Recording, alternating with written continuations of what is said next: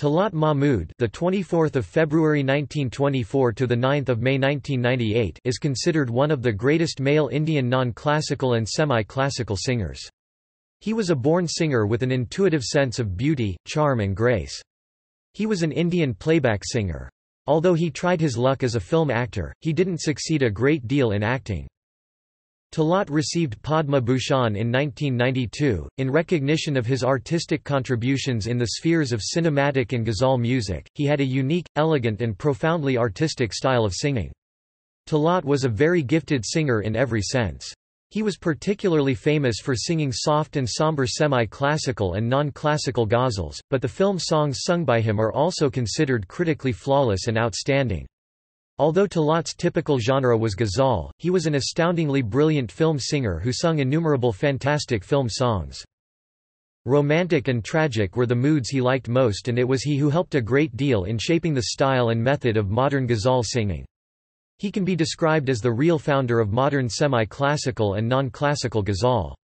During the 1950s and 60s, Talat was the first choice of the high-brow literary and artistic community of Indian subcontinent, especially Urdu-speaking community. Even his cancelled songs were immensely popular among them. No other singer had such intellectually high class and learned audience at the time with an exception of Manna Dey. Talat's voice has often been described as the softest male voice of the Indian subcontinent. Not only this, but his voice is also considered among the most soulful male voices ever heard in the Indian subcontinent.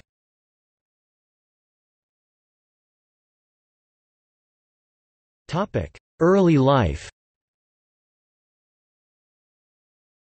Talat Mahmood was born in Lucknow, Uttar Pradesh, to Manzoor Mahmood.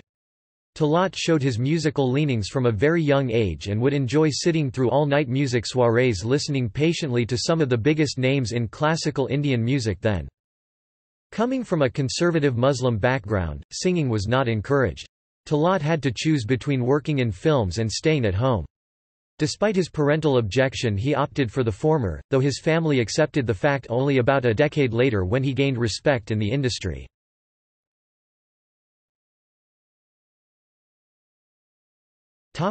Singing career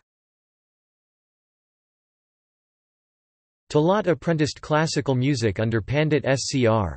Bhatt at Maris College of Music, Lucknow presently Bhatkhande Music Institute sometime in late 30s. He started his career purely as a ghazal singer in 1939.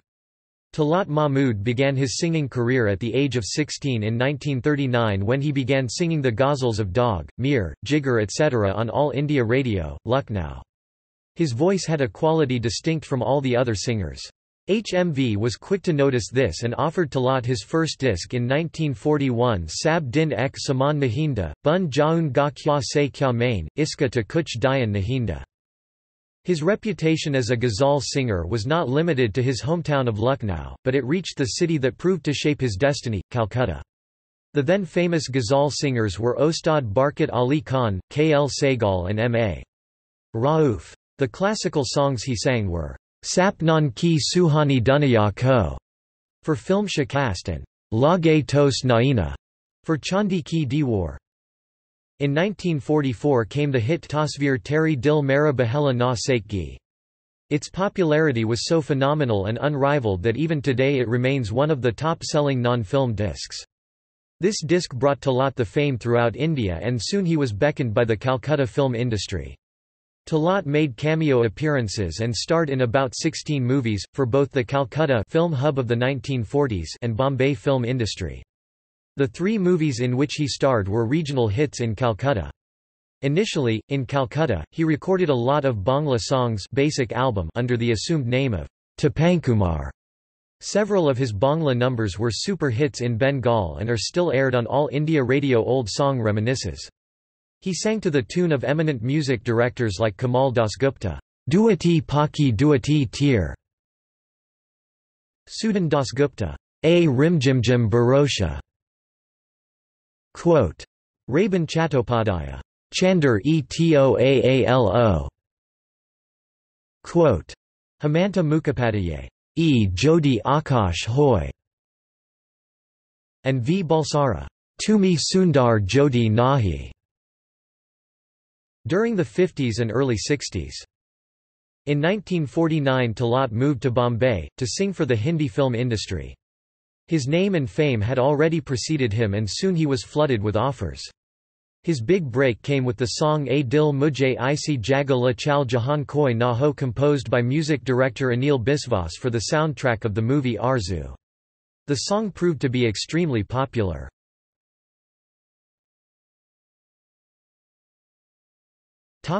Legacy and significance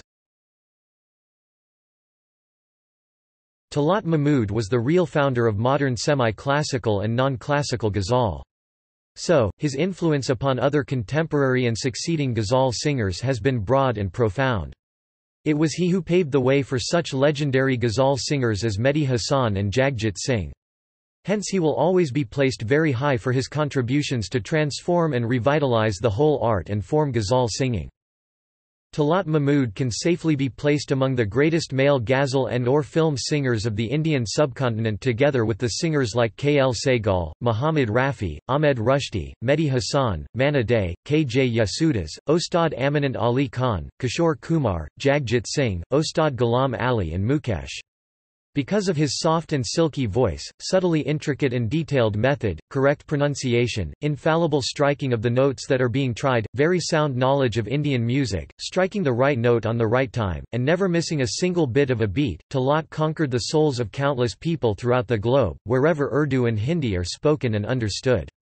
He is particularly and immensely popular among learned Urdu-speaking audiences having literary or artistic background, especially in Pakistan. Talat was a member of the famous male singers troika of the 1950s who had their respective separate fan followings throughout the Indian subcontinent. The other two were Muhammad Rafi and Mukesh. This famous troika was the most popular group of the film singers of the 1950s in the entire subcontinent, who enjoyed the largest audience ever existed during any period of subcontinent's cinematic history. Talat exerted a profound influence upon the ghazal singing of his time with his immensely melodious voice and artistic craftsmanship, particularly suitable for typically semi-classical ghazal singing. He was born to be a ghazal singer, with his majestic style and brilliant diction he conquered not only the hearts of innumerable high-brow listeners but also common folks of his time. He was the heart-favorite singer of the older and maturer audience of his time, and this type of audience still listens to him more than any of the ghazal singers who ever sung except the Shahenshah-e ghazal Mehdi Hasan and Jagjit Singh. So, in a sense, he still necessarily is a member of another troika, to be more precise, the three most influential ghazal singers of all time. Talat particularly and profoundly influenced a whole generation of young singers who succeeded him, including legendary ghazal singers Jagjit Singh and Pankaj Udhas who always honors him with the title of Shahenshah-e Ghazal, singer Sajjad Ali and playback singer Abhijit Bhattacharya.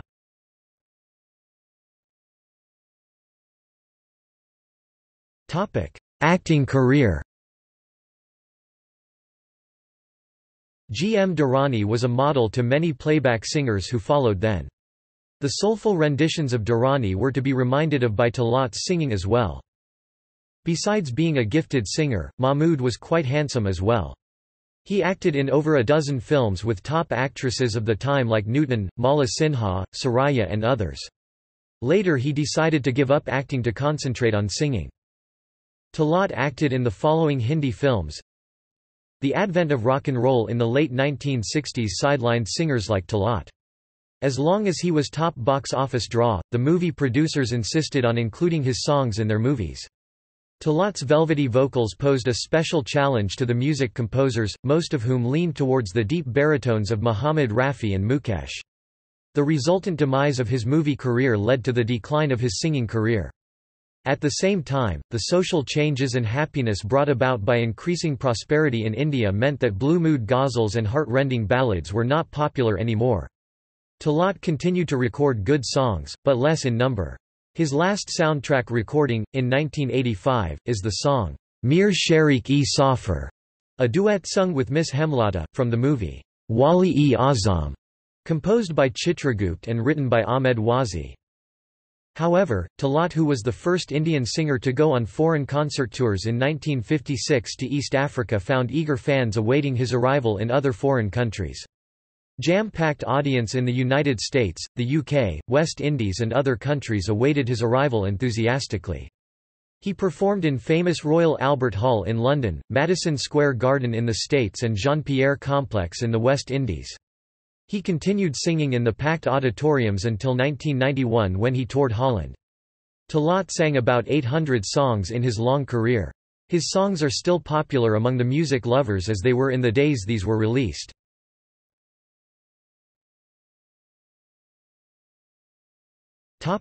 Family Talat married a Bengali Christian girl from Calcutta, who also acted in films and was a great fan of his, Latika Mullik, later named Nazreen on 20 February 1951 and had two children Khalid born in 1953 and Sabina born in 1959.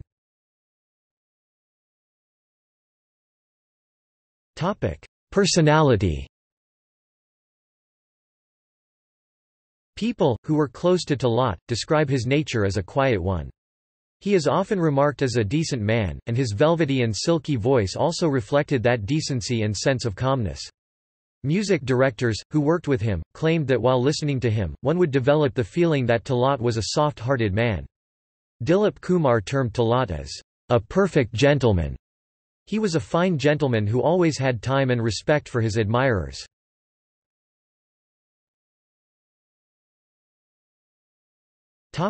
Available work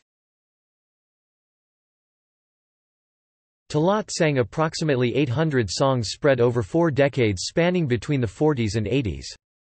Some of the most popular work of Talat is available even today with the following titles. Golden Collection of Talat Mahmood CD 131015-16 Talat Mahmood in a Sentimental Mood CD 132335 Evergreen Hits of Talat Mahmood CD 130 2017 Topic Popular singles. Even though Talat sang hundreds of hits, some of his most memorable songs from Indian cinema are Humse Aaya Na Gaya, Dekh Kabira Roya 1957, Jayan to Jayan Kahan, Taxi Driver 1954. Tasvir Banata Hoon, Baradari 1955. Dil e Nadan Tuja wa Kya Hai, Mirza Ghalib duet with Suraiya, 1954. Itna na Muchsi tu Pyar Bada, Chaya duet with Lata Mangeshkar, 1961. Seen me Sulakteen Hain Arman, Akan Mine Udasa Chai Hai, Tarana duet with Lata Mangeshkar 1951. Anso Samaj K. Kian Mujhe, Chaya 1961.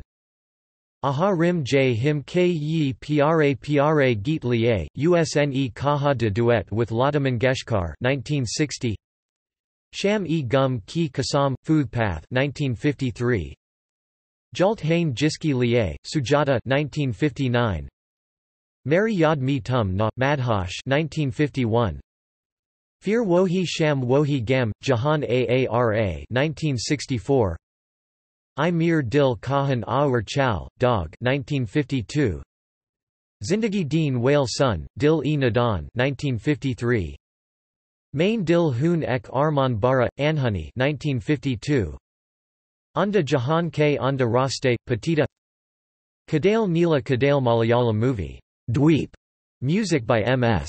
Baburaj Ashkan Ne Jo Paya Hai, Chandi Ki Diwar 1964 music, N. Dutta, lyricist, Sahir Ludian Bachain Nazar Betab Jigar, Yasmin 1955, music, C. Ramchandra, lyricist, Jan Nisar Akhtar Riat Ne Kya Kya Wab Dikhe, Ek Gaun Ki Kahani 1957 Chal Dia Caravan, Lut Gay Hum Yahan, Tum Vahan, Layla Majna Hok Majbur Mujhe Usne Bula Yahoga, Hakikat Song with Rafi, Manna Dey and Bhupendra i Dil Mujhe Isi Jagala Chal, Arzu 1949 Milthai Onken Dil Wa Diwana, Babul 1950 Mara Jivan Sathi Baikhar Gaya, Babul 1950 Koi Nahin Mara Is's Dunia Mine, Daag 1952 Humdard K. Maran Ka, Daag 1952